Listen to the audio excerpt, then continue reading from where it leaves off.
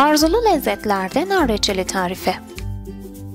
Her 2 kilo ayıklanmış nar için 1 su bardağı şeker ilave ettikten sonra suyunu salması için bir gece buzdolabında bekletin.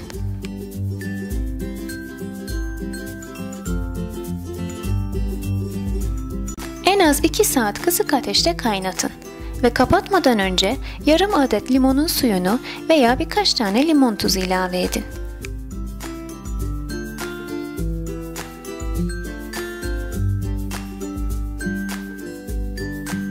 Afiyet olsun.